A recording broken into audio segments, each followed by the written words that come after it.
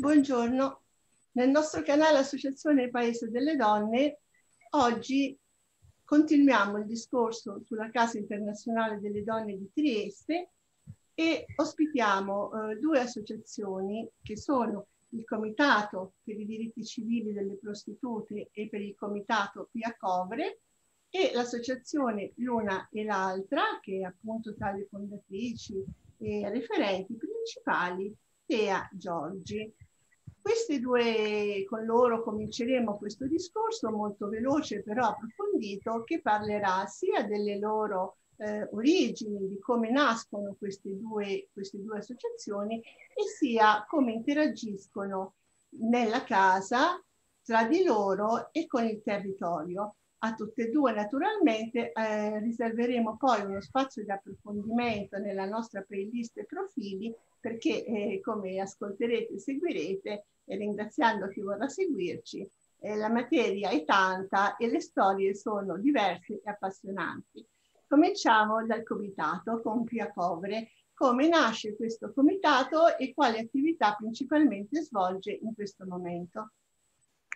Beh, buongiorno e grazie per darci questo spazio. Ovviamente in questo momento eh, noi siamo nate nel 1982, potete immaginare che negli anni ci sono stati cambiamenti di ogni tipo, eh, diciamo, nella, nella, realtà quotidiana e pertanto abbiamo affrontato svariate emergenze e, e abbiamo implementato progetti differenti a seconda dei momenti storici. Uh, attualmente noi siamo, abbiamo la nostra sede legale all'interno della Casa Internazionale delle Donne e questo devo dire è, è una cosa di cui va, andiamo molto orgogliosi. Credo sia l'unico caso al mondo che una Casa Internazionale delle Donne eh,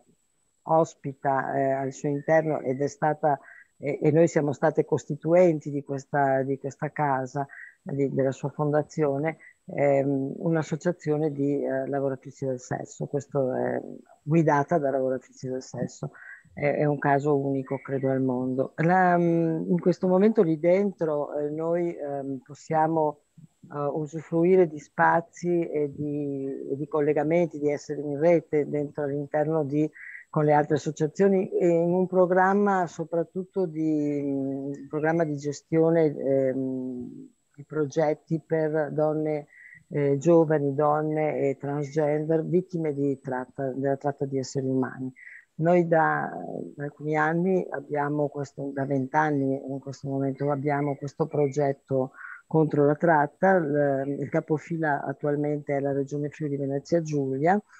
e l'ente finanziatore oltre al Friuli Venezia Giulia è il, il Dipartimento per le pari opportunità presso il Consiglio dei Ministri.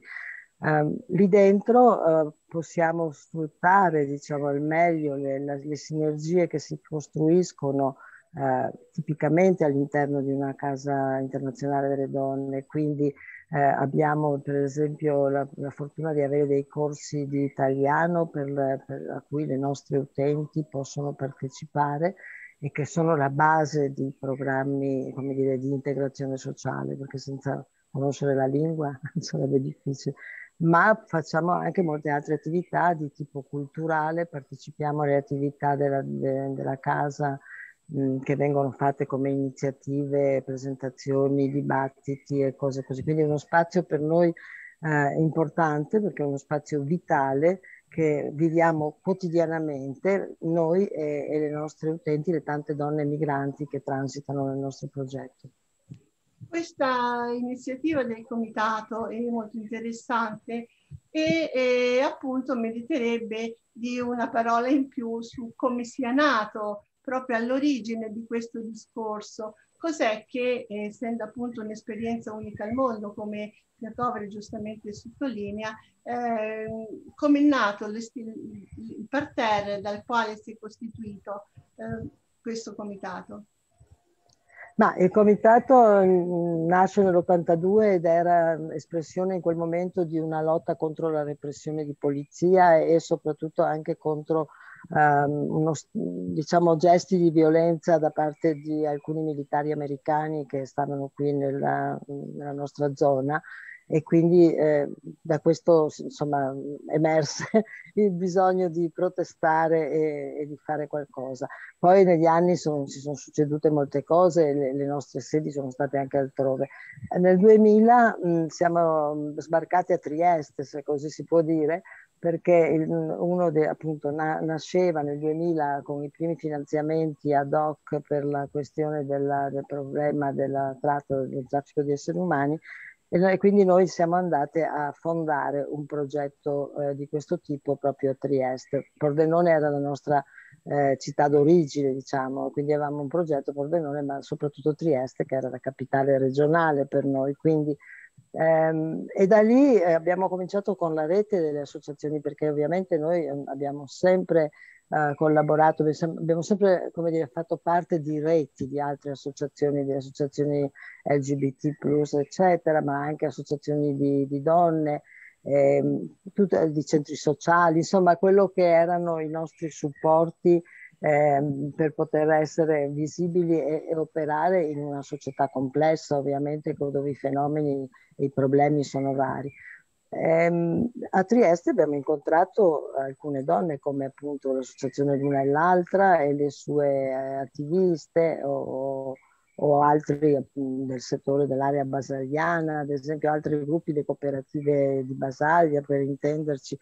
E con questa rete, in, questo, in quel contesto, eh, ci è nata l'idea che forse avremmo potuto mettere insieme le nostre, alcune nostre risorse, competenze, eccetera, e che ci sarebbe piaciuto proprio perché eh, città multietnica dove transitano tantissime donne straniere, ehm, e poi c'erano state ovviamente le rivolte, le guerre della, nella, nella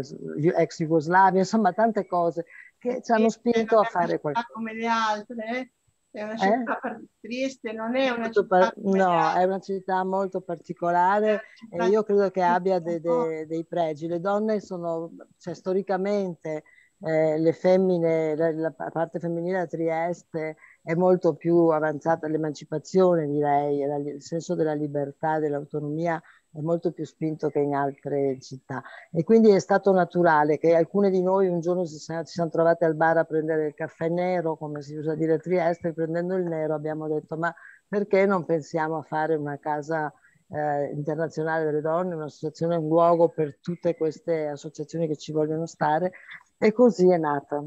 l'idea. Poi hanno lavorato molto compagne ovviamente più competenti e più brave di noi, fra l'altro noi come prostitute facevamo altre cose magari, ma eh, è nata lì insomma l'idea nel, nel 2000 e poi eh, Tea può ricordare benissimo quando poi fa la, fa casa più fondata e, tu, e, di cui noi appunto abbiamo fatto parte sempre.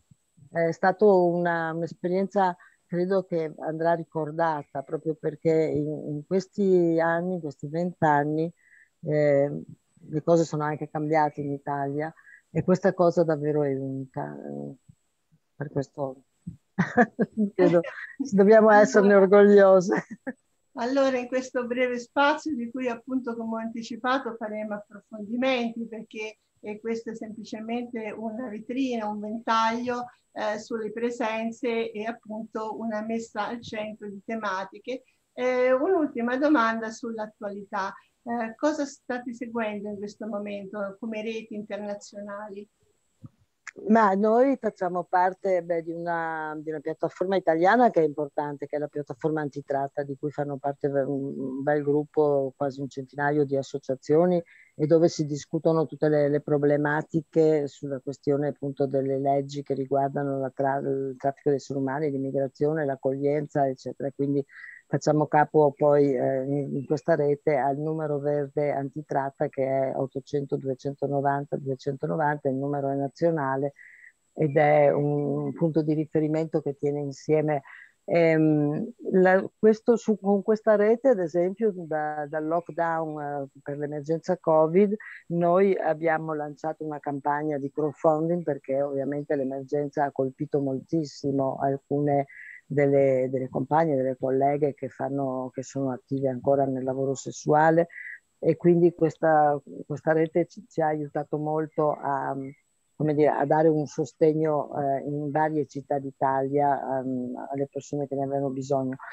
E l'altra, l'altra, parte invece quella internazionale, facciamo parte di due reti, uno è CRC che è la rete del sex worker, un'associazione, un'organizzazione di associazioni in Europa e l'altra è Tampep Network eh, che storicamente di cui siamo fondatrici anche è sempre una rete fonda, fatta di 23 mh, rappresentate in 23 paesi in Europa fatta di associazioni di sex worker e anche di alleati non sex worker. Eh, con questa rete ultima, la, questo di Tampep, eh, abbiamo fatto un documento, ma dico questo è l'ultimo perché è di dieci giorni fa, ma ne abbiamo fatti in questi due anni di lockdown e crisi, ne abbiamo fatti parecchi, di, di, anche soltanto italiani volendo, ma anche di europei, proprio per, fare, per stimolare la, la sensibilità dei, de, delle forze politiche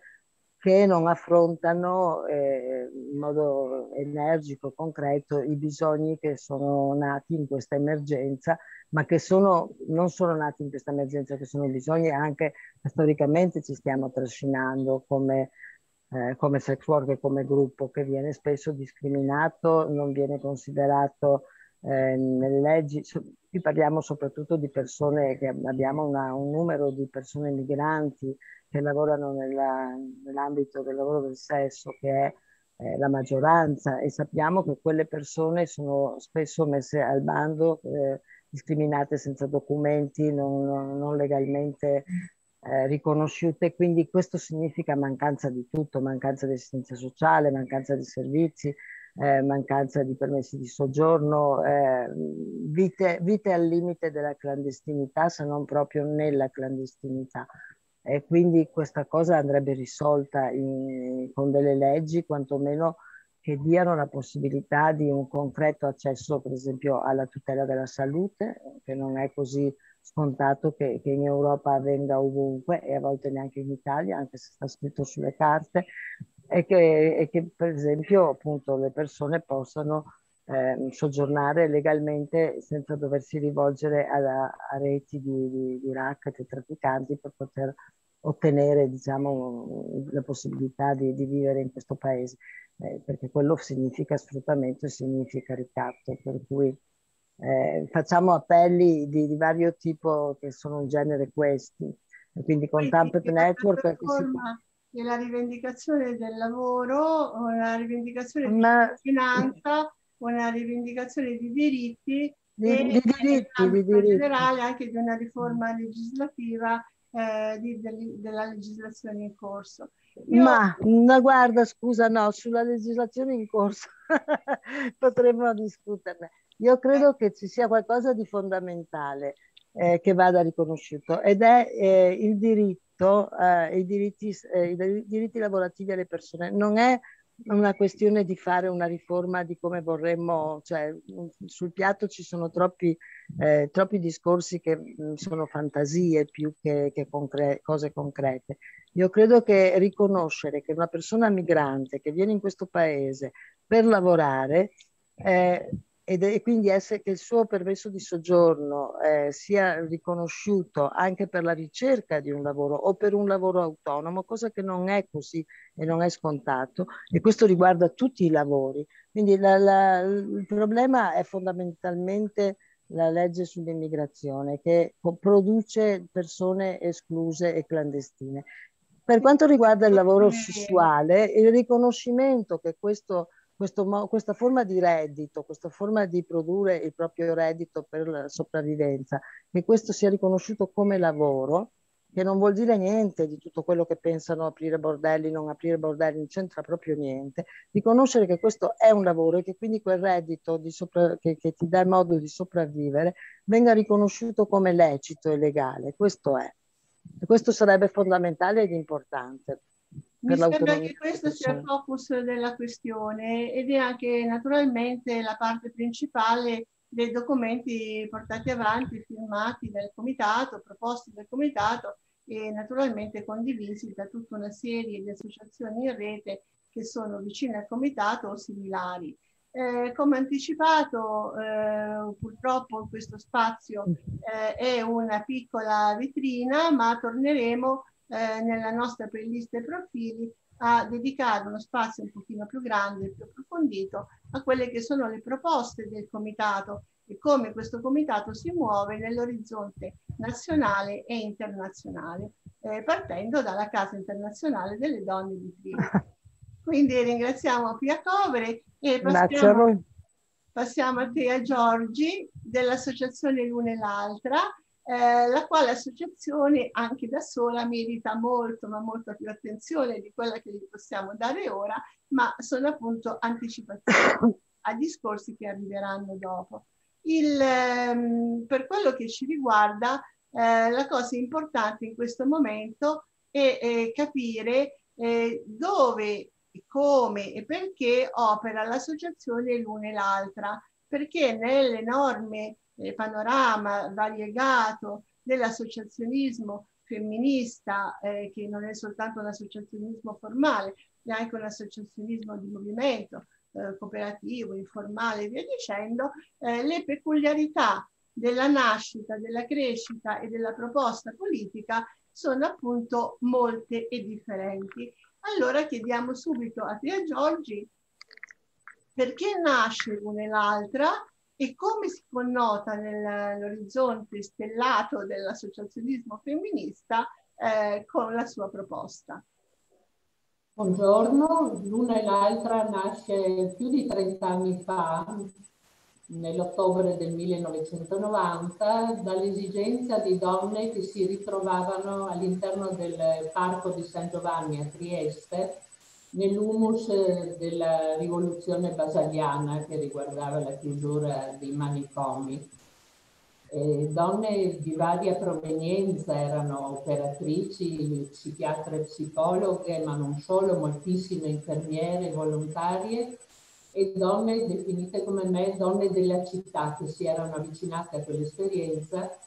E tutte lavorando assieme abbiamo ritenuto che fosse necessario occuparsi in modo particolare della sofferenza delle donne, perché all'epoca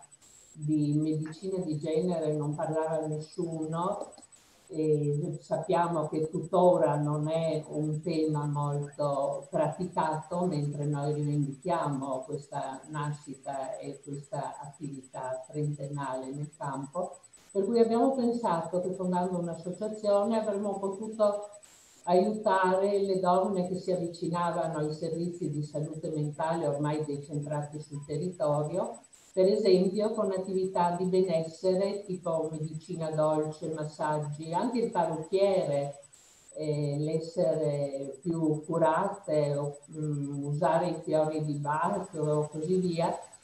a eh, superare meglio dei momenti di difficoltà. Poi sono venuti corsi, laboratori, teatro, video, foto, eh, formazione sia per le donne che avrebbero voluto trovare un lavoro, sia per le stesse operatrici e via via convegni, laboratori di scrittura eh, creativa. Dal teatro è nato un gruppo di teatro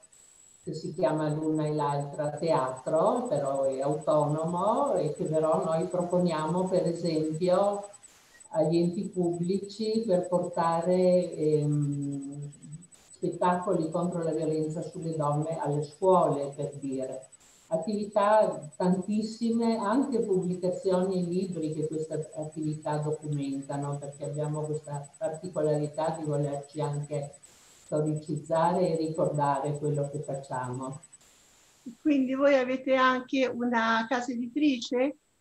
la casa editrice della Casa Internazionale delle Donne all'interno della casa è nata, ma noi ci teniamo molto, tanto è vero che eh, con il gruppo delle voci dell'una e l'altra che leggono da dieci anni abbiamo anche un gruppo di lettura, perché anche la lettura fa molto bene per stare assieme, incontrarsi ogni settimana con un gruppo di lettura, poi andiamo anche a presentare i libri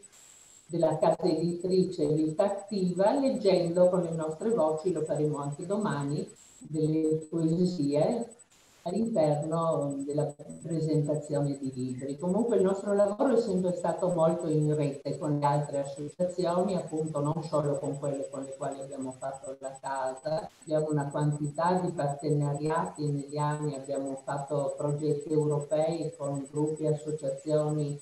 di tutti i paesi dell'ex Jugoslavia, ma anche di Cipro per dire. E siamo molto disponibili al lavoro in rete. Qual è una delle caratteristiche che appunto operando a Trieste, città di confine, città di frontiera, se si, potrebbe, se si potesse dire questa parola, eh, plurietnica, plurireligiosa, eh, qual è una delle difficoltà principali che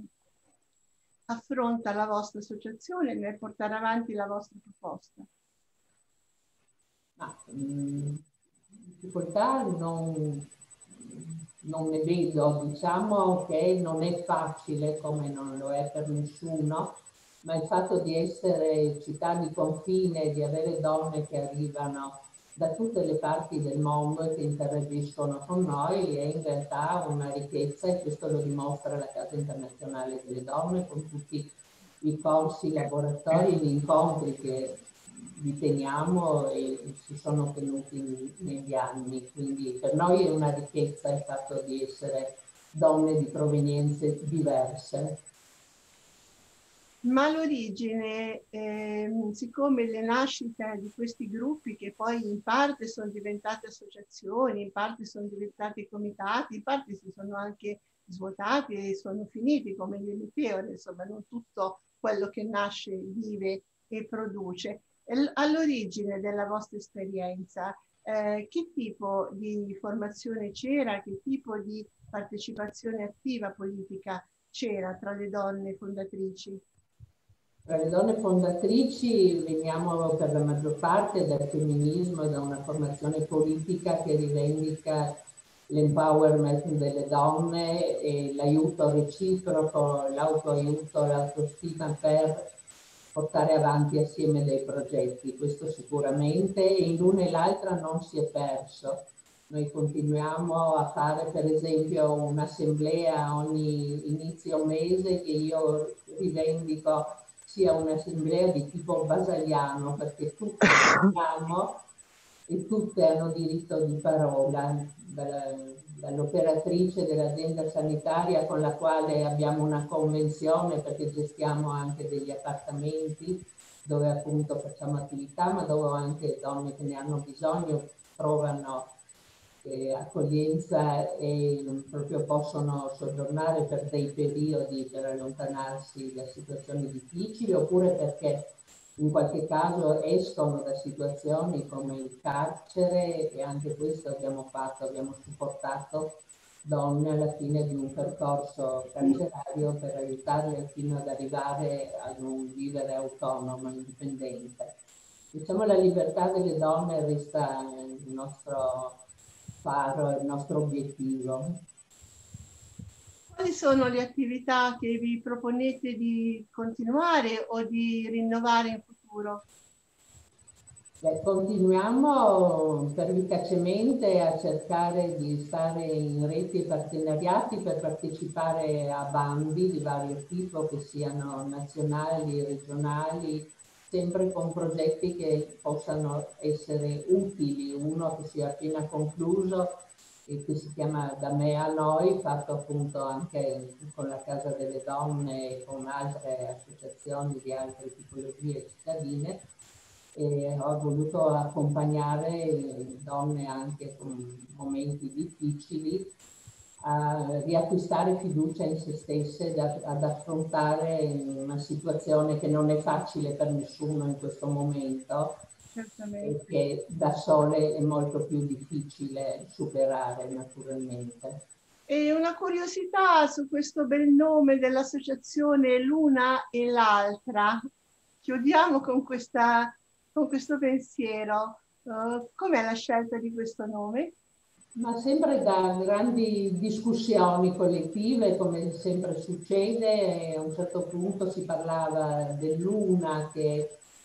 è una donna di un certo tipo e l'altra che magari è una che ha più difficoltà e l'una con l'apostrofo è diventata la luna e così, e così via, come il ristorante della Casa delle Donne di Roma praticamente, l'una e l'altra. È un gioco di parole che si presta moltissimo anche a linguaggi poetici, ecco, oltre che a linguaggi politici. Ecco, perché insomma il rapporto con la Luna, se ne potrebbe parlare. Il rapporto con la Luna lo rivendichiamo come il diritto di essere lunatiche anche. Questo mi sembra perfetto, questo diritto di essere lunatiche, eh, se permetti me lo prenderò, me lo spenderò altre volte. Eh, allora, io intanto chiudo qui questo, appunto, questa parentesi, che più altro non è, e però dando appunto appuntamento a chi ci vuole seguire ai prossimi approfondimenti che faremo sulla Casa Internazionale delle Donne di Trieste e ringrazio vivamente sia Pia Covre del Comitato per i diritti civili delle prostitute e sia eh, Pia Giorgi dell'Associazione L'una e l'altra. Eh, a tutti voi e a tutti voi che ci seguite un ringraziamento da parte nostra. Ciao. Arrivederci. Ciao, grazie, grazie. delle donne, grazie di esserci. Eh, grazie, ciao. Grazie a voi. Ciao Pia.